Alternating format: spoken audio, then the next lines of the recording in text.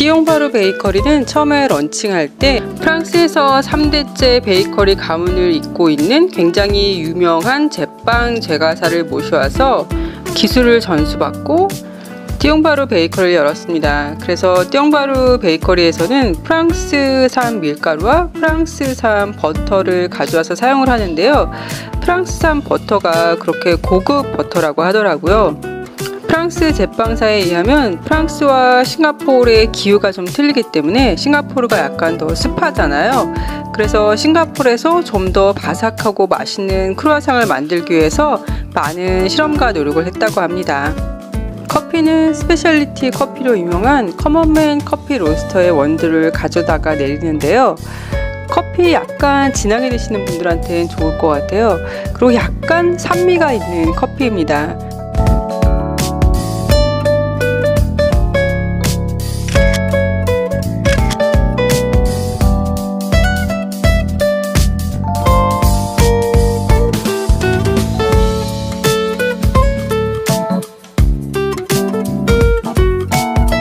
쌀가루와 설탕으로 만드는 쿠에 투트도 보이고요. 띠용바르 호커센터에서 엄청 유명한 취크에도 보입니다. 작가가 좋아하는 락사를 먹고 있는 사람들이고요.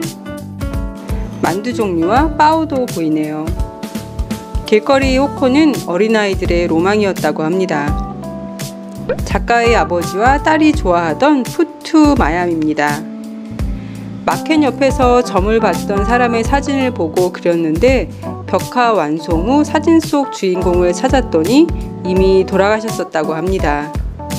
여기 벽화는 이비엘 총 씨라는 분이 그린 벽화인데요. 그분은 원래 어, financial 금융 쪽에서 일하시는 분이었거든요. 그런데 본인이 원해서 part-time으로 이렇게 벽화를 그리신 거예요. 여기 보시면은 여기 두 남성이 있는데요. 이분들은 그 예전 시대에 코미디언 듀오라고 하셨대요. 우리나라 왜 제 또래나 저보다 어르신 분들은 아실 테지만 남성 남철남 씨 그 듀오도 굉장히 유명했잖아요. 왔다 갔다 춤, 왔다리 갔다리 춤이라고 해가지고요. 근데 그것처럼 이 두 분이 그 당시에 굉장히 풍미했던 그런 코미디언 듀오시고요. 이 그림 자체가 그분의 집이었다고 합니다. 여기 보시면은 처음에 이제 전화기가 들어와 가지고요. 이렇게 전화기를 놓은 것도 그리셨고요.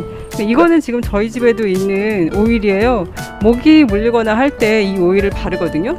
그리고 이 뒤에 있는 것도 저희가 먹어요. 감기가 걸릴 때쯤 되면 이거를 먹으면 좀 낫기도 하거든요. 이거는 천연 허브로 만들어진 거예요. 그리고 여기 오라고 적혀 있는 거는 이거는 담배였다고 합니다. 이분의 할머니께서 담배를 피셨대요. 그리고 요거는 이분 아버님이 돌아가시고 나서 화장한 후에 그 죄를 모신 거라고 합니다.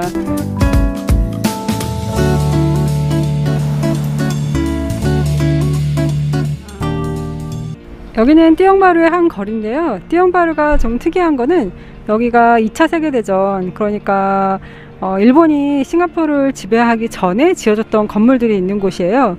굉장히 오래됐잖아요. 1945년 전에 지어진 건물들이 있으니까요. 제 뒤에 보이는 저런 낮은 건물들이 다 그때 지어진 거거든요. 그런데 그렇게 오래된 건물이 왜 여기 있냐면요. 싱가포르에서 이 지역을 약간 보호구역처럼 지정해낸 거예요.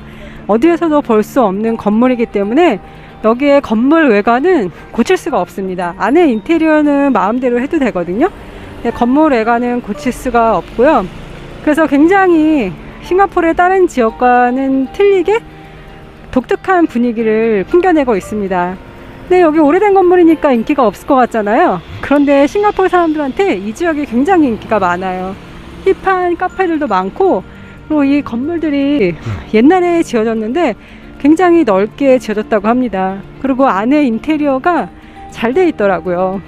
그래서 띠엄마로 오시면은 좀 새로운 분위기를 느끼실 수 있으실 거예요.